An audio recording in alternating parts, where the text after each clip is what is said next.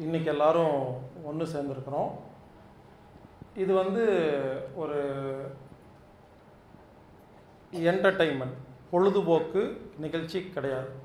இப்போ நம்ம வந்திருக்கிறது ஒரு காமெடி மிமிக்ரி என்டர்டெயின்மெண்ட் அந்த மாதிரி ஒரு நிகழ்ச்சி கிடையாது. நாமெல்லாம் வந்திருக்கிறது ஒரு விதமான சிகிச்சை ட்ரீட்மெண்ட் நமக்கு ஒரு வியாதி வந்தால் என்ன பண்ணுவோம்? ஒரு வைத்தியரை போய் பார்ப்போம். உலகத்தில் இருக்கிற எல்லா வைத்தியர்களும் என்ன பண்ணுறாங்க ஊசி போடுறாங்க மருந்து கொடுக்குறாங்க மாத்திரை கொடுக்குறாங்க பொடி கொடுக்குறாங்க லேகியம் கொடுக்குறாங்க சிட்டுக்குருவி லேகியம் எல்லாம் கொடுக்குறாங்க. இந்த நாடி பார்க்குறது அக்கு பஞ்சர் நியூரோதெரப்பி முத்ராரிக்கி பிராணி ஹீலிங் டச்சு ஹீலிங் இயற்கை வைத்தியம் இப்படின்னு நிறையா வகையான வைத்தியங்களை இது வரைக்கும் நம்ம இந்த உலகத்தில் பார்த்துருப்போம். ஆனால் இப்போ நீங்கள் வந்திருக்கிற இந்த வைத்தியம் சிகிச்சைக்கு பேர் செவி வழி தொடு சிகிச்சைன்னு பேருங்க. ஆங்கிலத்தில் அனாட்டமிக் தெரப்பின்னு பேர்.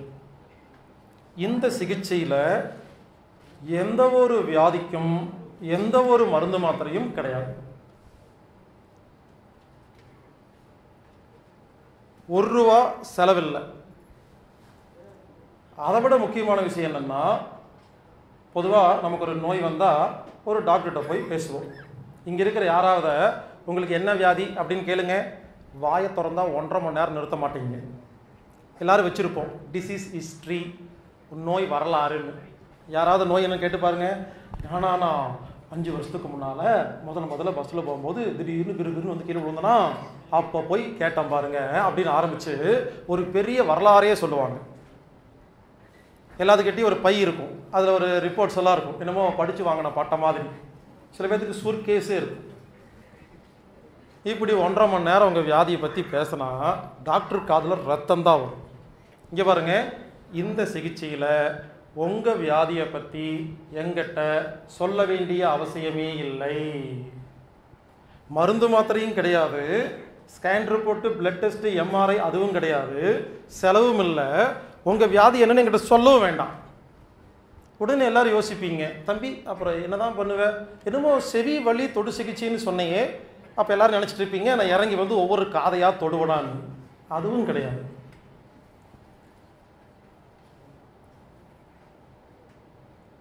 புரிஞ்சுக்குங்க. செவி வலி தொடு சிகிச்சைன்னா என்னென்னா எங்கிட்ட யாராவது வியாதின்னு வந்தீங்கன்னா இந்த மாதிரி உட்காந்துக்கணும் நான் எப்படி தெரியுமா ட்ரீட்மெண்ட் கொடுப்பேன்? நான் இந்த மாதிரி டேபிளில் ஸ்டேஜ் போட்டு மைக் பிடிச்சி உட்காந்துக்குவேன் சொன்னால் நம்ப மாட்டீங்க. ஆறு மணி நேரம் தொடர்ந்து பேசுவேன். இதுதான் ட்ரீட்மெண்ட் உடனே சில பேர் யோசிச்சிருப்பீங்க என்னது? ஆறு மணி நேரம் பேசுவியா? இந்த கொடுமைக்கு அந்த கொடுமையே பரவாயில்ல போல் இருக்கு.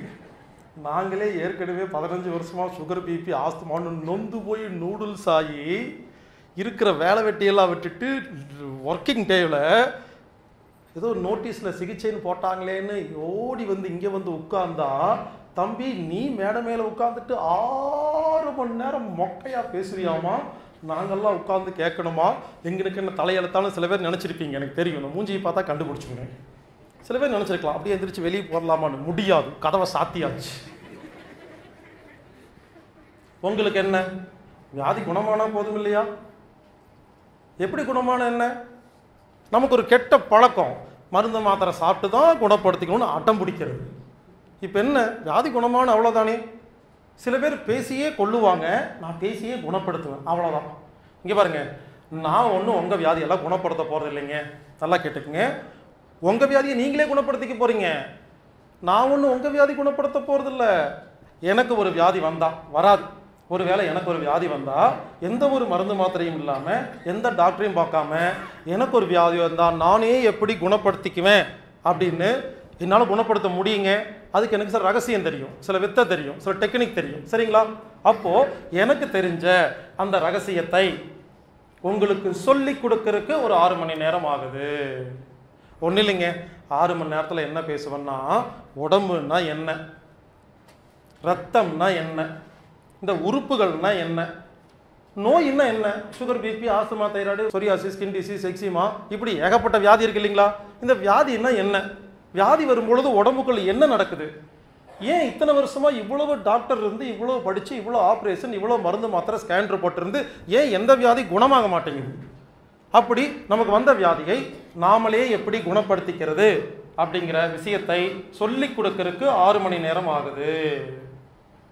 நமக்கு ஒரு கெட்ட பழக்கம். ஒரு டாக்டர் அப்படின்னாவே வெள்ளை கோட்டு போட்டிருக்கணும். ஒரு அறுபத்தஞ்சு வயசுக்கு மேலே இருக்கணும். வெள்ளை தாடி மீசையெல்லாம் வச்சுருக்கணும்.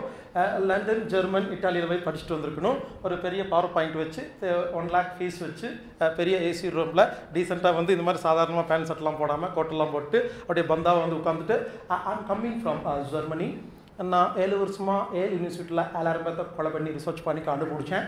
அப்படின்னு சொன்னால் மட்டும் உட்காந்து பேன்னு கேட்க வேண்டியது. நம்ம ஊரில் யாராவது வந்து சொன்னால் அதை கேட்குறதே இல்லை.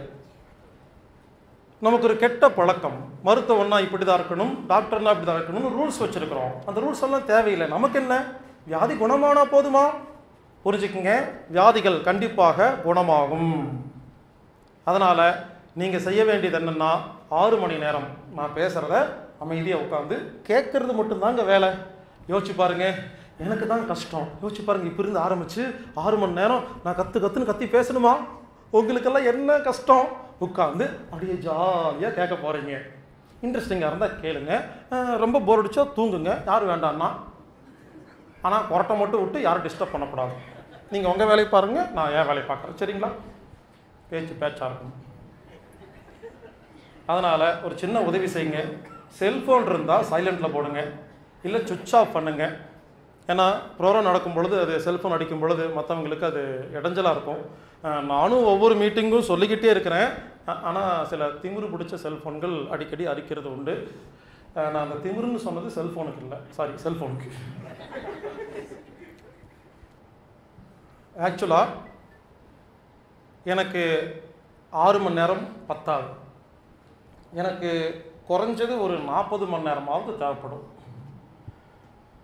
அதாவது India Singapore Malaysia Saudi Arabia போன்ற பல நாடுகளில் அஞ்சு நாள் கிளாஸ் நடத்துகிறேன் வந்தால் அஞ்சு நாள் அங்கேயே தங்கணும். சாப்பாடு தங்குறதுக்கு எல்லாமே. காலையில் ஏழு மணிக்கு மைக் பிடிப்பேன். சாயந்தரம் ஏழு மணிக்கு தான் மைக் வைப்பேன். இப்படி அஞ்சு நாள் தொடர்ந்து பேசுகிற விஷயத்தை தான் இன்னைக்கு நான் உங்களுக்கு ஆறு மணி நேரத்தில் கட்டிங் எடிட்டிங் ஒட்டிங் எல்லாம் பண்ணி பேச போகிறேன் சரிங்களா? யோசிச்சு பாருங்க. பல்வேறு விதமான நோய்கள் எந்த ஒரு மருந்து மாத்திரை இல்லாமல் குணப்படுத்தணும்னா அது கண்டிப்பாக ஆறு மணி நேரம் பத்தாது. இருந்தாலும் ஆறு மணி நேரத்தில் எல்லாத்துக்கும் புரிகிற மாதிரி நான் சிம்பிளாக பேச போகிறேன் இந்த ஸ்பீச் இருக்கு இல்லைங்களா? இது வெறும் ஸ்பீச் மட்டும்தான் பேச்சு மட்டும்தான். நான் மறுபடியும் சொல்கிறேன் இதில் எந்த ஒரு மருந்து மாத்திரையும் கிடையாது. ஏன் தெரியுமா? திரும்ப திரும்ப மருந்து மாத்திரை இல்லை மருந்து மாத்திரை இல்லைன்னு சொல்கிறேன் ஒரு அஞ்சு வருஷத்துக்கு முன்னால் கோயம்புத்தூரில் குனிமுத்தூரில் ஒரு ப்ரோக்ராம் பண்ணேங்க. ஒரு முந்நூறு பேர் உட்காந்துருந்தாங்க காலையில் பத்து மணிக்கு மைக்கு பிடிச்சி பேச ஆரம்பித்தேன் சாயந்தரம் நாலு மணிக்கு முடித்தேன் அப்போல்லாம் லஞ்செல்லாம் கிடையாது. அவங்கள என்ன ஃப்ரீயாக நடத்துவேன். அவங்களே போய் நாலு மணிக்கு சாப்பிட்டுக்கணும். நாலு மணிக்கு முடிச்சிட்டேங்க. ப்ரோக்ராமெல்லாம் முடிச்ச உடனே அவ்வளோதாங்க இந்த மாதிரி செஞ்சால் உங்கள் வியாதி உங்களுக்கே குணமாகும். அப்படின்னு சொல்லி முடிச்சுட்டு ஓகே யாருக்காவது கேள்வி இருந்தால் கேளுங்கன்னு கேட்டேன். ஒரு பாட்டி எந்திரிச்சாங்க. எனக்கு ஒரே சந்தோஷம். பாட்டிக்கு சந்தேகமா? எப்பா மைக் கொடுங்கப்பா அப்படின்னேன் அந்த பாட்டி மைக்கு வாங்கி என்ன தெரியுமா கேட்டாங்க? இப்போ என் மண்டைக்குள்ளே ஒழிச்சிக்கிட்டே இருக்குது. அந்த பாட்டி மைக்கை வாங்கி தம்பி காலையிலிருந்து நீயே பேசிட்டு இருக்கிறிய டாக்டர் எப்போ வருவாங்கன்னு கேட்டாங்க. அப்பதான் புரியுது சில ஜென்மத்துக்கெல்லாம் ஒன்றுமே புரியாது போல் இருக்கு. இங்கே பாருங்க இன்னைக்கு யாராவது சாயந்தரம் அஞ்சு மணிக்கு டாக்டர் எங்கன்னு கேட்கக்கூடாது. கேட்டோம் கோவம் பாருங்க மணி ஒரு பத்தே காலாச்சு. ரெண்டு மணி நேரம் தொடர்ந்து பேசுவேங்க. ஒரு பன்னெண்டு பன்னெண்டு மணிக்கு முடிப்பேன். பன்னெண்டு பன்னெண்டரை பிரேக் டீ சாப்பிட்றது யூரின் போகிறது தண்ணி குடிக்கிறது. வந்து உட்காடுறீங்க பன்னெண்டரை ஒன்றரை. மறுபடியும் பேசுவேன். ஒன்றரை ரெண்டரை லஞ்ச் ரெண்டரைலேருந்து அஞ்சு மணி வரைக்கும் பேசுவேங்க. அஞ்சு அஞ்சரை டீ பிரேக் அஞ்சரைலேருந்து ஆறரை. கேள்வி பதில். யாருக்கெல்லாம் கேள்வி இருக்கோ நீங்கள்லாம் கேட்கலாம். அஞ்சு மணிக்கு வேலை இருக்குன்னா நீங்கள் வீட்டுக்கு கிளம்பிடலாம். கேள்வி பதில் இருந்தால் உட்காந்து கம்ப்ளீட்டாக கேள்வி கேட்டு போகலாம்.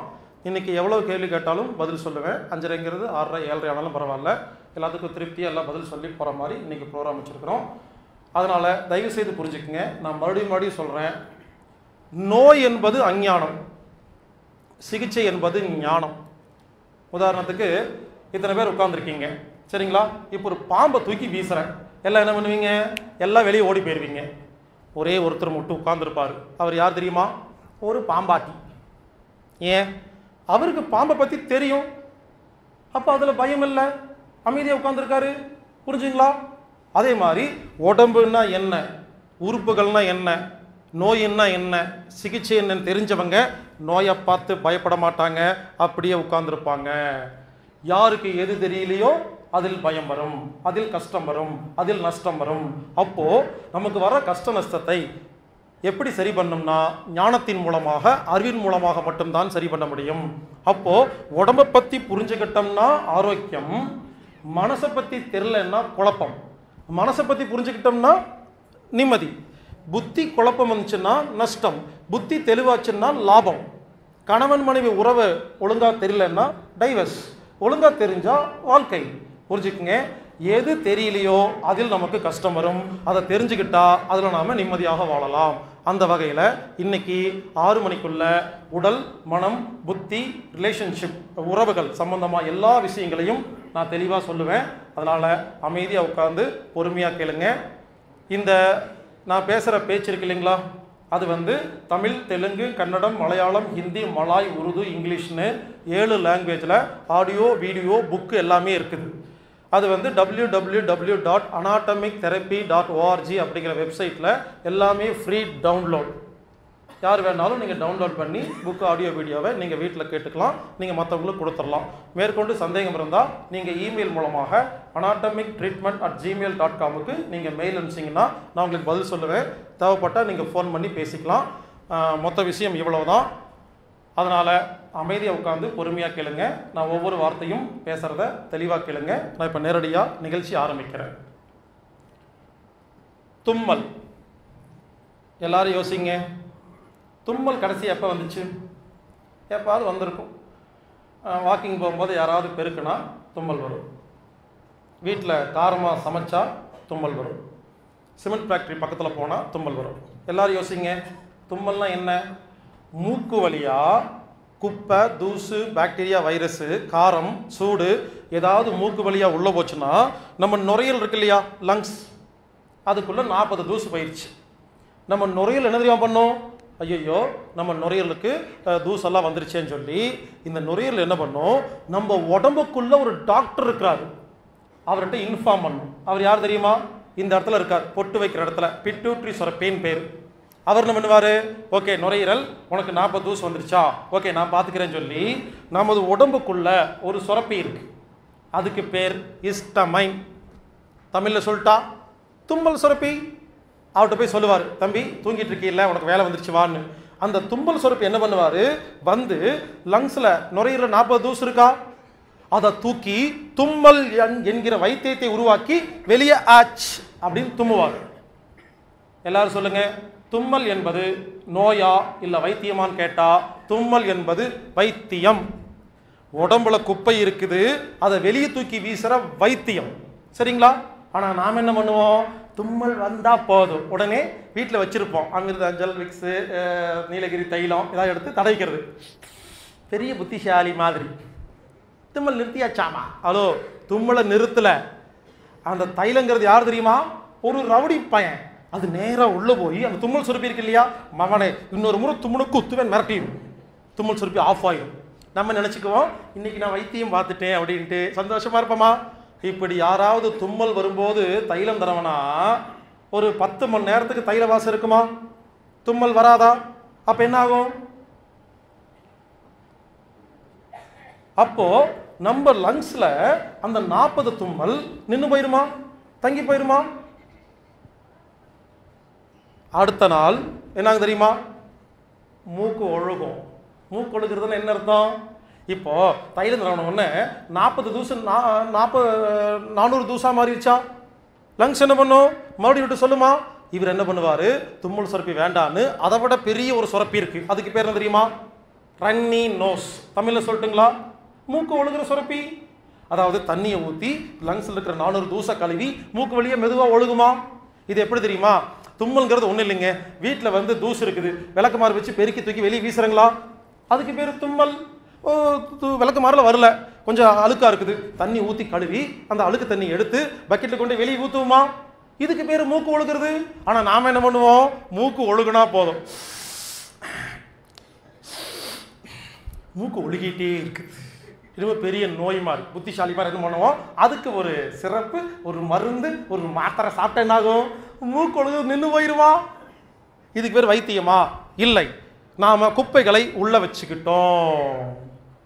ஏங்க நான் கேட்குறேன் உங்கள் வீட்டில் அழுக்கு தண்ணி எல்லாம் வீ- வீடெல்லாம் கழுவி அழுக்கு தண்ணி எடுத்துகிட்டு போய் பக்கெட்டில் வெளியே ஊற்றும் பொழுது நான் வந்து பக்கெட்டை வா தண்ணியை வாங்கி அழுக்கு தண்ணி வீட்டுக்குள்ளே ஊற்றினா எவ்வளோ கோவம் வரும்? அந்த மாதிரி தான் உடம்புக்கு வரும். யாராவது மூக்கு ஒழுகும் பொழுது அப்படின்னு இழுத்தீங்கன்னா செம கோவம் வரும். திட்டும். ஏய் அறிவு இருக்கா உனக்கு? நான் கஷ்டப்பட்டு குப்பையை தூக்கி வெளியே வீசுறேன் அதை பிடிச்சி உள்ள இருக்க திட்டமா திட்டாதா? இப்படி மூக்கு ஒழுகும் பொழுது அது ஒரு வியாதின்னு சொல்லி அதுக்கு வைத்தியம் பார்த்து வைத்தியம் பார்த்து அடக்கி வச்சா என்ன ஆகும் கொஞ்ச நாளில் நாலாயிரம் தூசு ஆயிரும். அதுக்கப்புறம் தான் அதை விட மிகப்பெரிய ஒரு டாக்டர் வருவார். அவருக்கு பேர் என்ன தெரியுமா? சளி. இங்கிலீஷில் மியூக்கஸ்னு பேருங்க. சளி ஏன் தெரியுமா உருவாகுது? நுரையீரலில் நிறைய குப்பை இருந்தால் தாங்க சளி உருவாகும். சளிங்கிறது வியாதி இல்லை. குப்பை தான் வியாதி. அதை சரி பண்ணி சரி பண்ண வந்த வைத்தியத்துக்கு பேர் தான் சளி. சளி வெளிவருமா அது என்ன பண்ணுவோம்? அதையும் பிடிச்சி உள்ளழுப்போம் அதுக்கு மருந்து மாத்திரை. சில பேர் பெரிய புத்திசாலி மாதிரி எனக்கு சளி பிடிச்சா இந்த மாத்திரை சாப்பிட்டான்னு ஸ்பெல்லிங்கோட சொல்லுவாங்க. பெரிய புத்திசாலி மாதிரி. இப்படி ஒரு மருந்து மாத்திரை சாப்பிட்டேனாகும் சளி கெட்டியாயிருமா? இப்படி தும்மல் வந்தா தும்மாமல் மூக்கு ஒழுகி சிந்தாம சளி வந்து சிந்தாம யாரெல்லாம் வைத்தியம் பார்த்துட்டே இருக்கீங்களோ கொஞ்ச நாளுக்கு அப்புறம் கெட்டியா என்ன தெரியுமா? நெஞ்சு சளியாக மாறுது. அப்புறம் என்ன ஆகும் இருமல் வரும். இருமல்னா என்ன? ஒன்றும் இல்லைங்க. இருமல்ங்கிறது வியாதி இல்லை. நுரையீரல்ல நிறைய சளி இருக்கு. அதை வெளியே தூக்கி விசிறக்கு எனக்கு தெம்பு பத்தலைன்னு கத்துது. நம்ம என்ன பண்ணுவோம்? இருமல் வந்தா அதுக்கு ஒரு சிறப்பு சாப்பிட்டு அதை ஆஃப் பண்ணி விட்டுருவோம். இப்படி யாரெல்லாம் இருமல் வரும்பொழுது மருந்து மாத்திரை சாப்பிட்டு உள்ள சளியை கட்டியாக வைக்கிறீங்களோ அதுக்கப்புறம் தான் வீசிங்காக மாறுது. வீசிங்க்கு யாரெல்லாம் மருந்து மாத்திரை சாப்பிட்றீங்களோ ஆஸ்மாவாக மாறுது. ஆஸ்மாக்கு யாரெல்லாம் மருந்து மாத்திரை சாப்பிட்டு சளியை உள்ள கண்ட்ரோல் பண்ணி வைக்கிறீங்களோ நிமோனியாவாக மாறும். நிமோனியாவுக்கு மருந்து மாத்திரை சாப்பிட்டு யாரெல்லாம் கண்ட்ரோல் பண்ணுறீங்களோ டிபியாக மாறும். டிபி வரும்பொழுது யாரெல்லாம் மருந்து மாத்திரை சாப்பிட்டு கண்ட்ரோல் பண்ணுறீங்களோ ஒரு நாள் கேன்சராக மாறும். இப்போ என்ன பண்ண போகிறோம் கேன்சர் வந்துருச்சு. இதுக்கு வைத்தியமே இல்லை. அப்படின்னு சொல்கிறோமா இல்லையா? இதில் என்ன புரியுது? உடம்பு குப்பையை தூக்கி வெளியே வீசும் பொழுது நாம் அதே வியாதின்னு சொல்கிறோம் புரிஞ்சுக்குங்க.